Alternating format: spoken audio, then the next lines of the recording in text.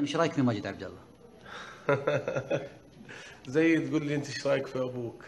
يا الله يعيد السؤال. إي. والله هذا هذا أسطورة. زي تقول لي انت إيش رايك في أبوك؟ يا بكتب لك يا شعر بيتين أشرح لك الخافي وتفهم عليا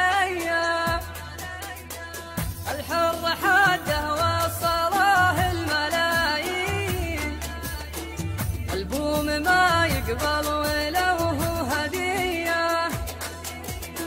ودرب المعزة يسلكونه عزيزين. ودرب الردى تمشي رجل الردية.